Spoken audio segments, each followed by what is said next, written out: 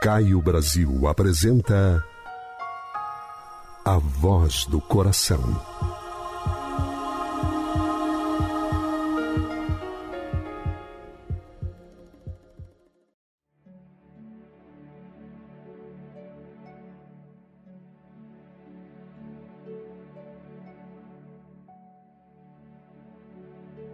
Misericórdia.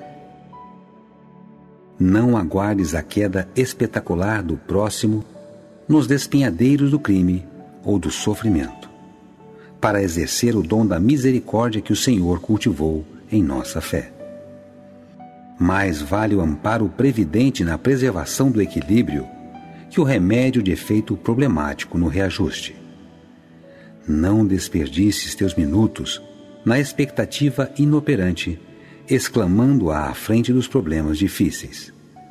Amanhã farei alguma coisa, depois tentarei realizar. Um dia chegará, quando a oportunidade surgir.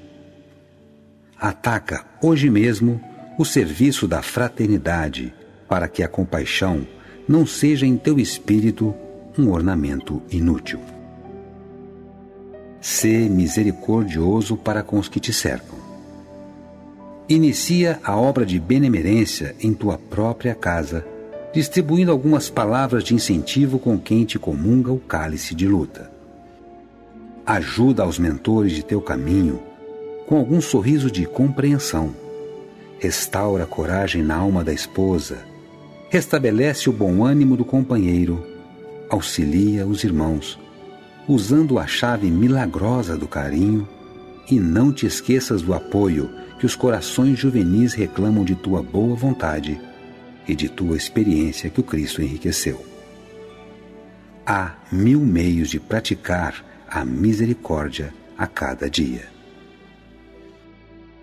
Não ouvides o silêncio para a calúnia, a bondade para com todos, a gentileza incessante, a frase amiga que reconforta, a roupa que se fez inútil para o corpo suscetível de ser aproveitada pelo irmão mais necessitado.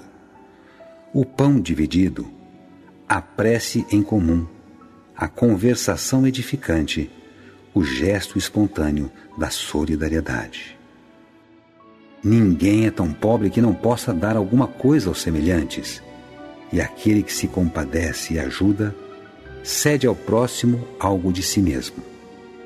Não te detenhas, portanto, não admitas que a incerteza ou o temor te imobilizem o passo.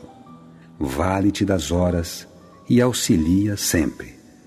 Sem ostentação de virtude, sem reclamação, sem alarde, e a vida entesourará as tuas migalhas de amor, delas formando a tua riqueza imperecível na bem-aventurança espiritual.